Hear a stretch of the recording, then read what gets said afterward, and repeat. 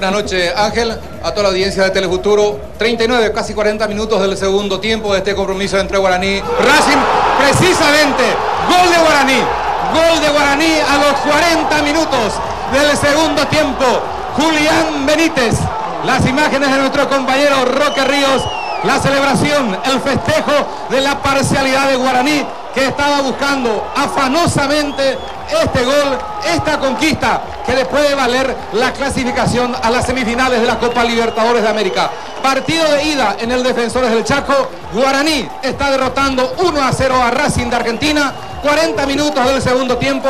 Lo buscaba el conjunto aborigen desde el segundo tiempo prácticamente todo el avance era de Guaraní. No podía ingresar al área de, de, Racing. Estaba jugando con un hombre más, o está jugando, mejor dicho, Guaraní con un hombre más, con la expulsión de Luciano Lolo a los 40 minutos del primer tiempo.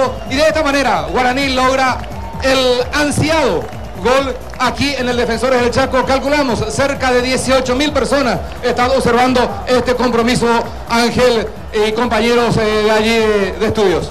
Excelente, eh, Rodolfo López. Qué oportuno, y, y, ¿eh? y qué oportuna la, el, el, contacto Le dimos en vivo, suerte. Sí, entiendo que sí, sí. Cábala. Lo preparaba Rodolfo López y el grito de gol también, ¿sí? Al mejor relator deportivo, sin duda. Qué buenas imágenes.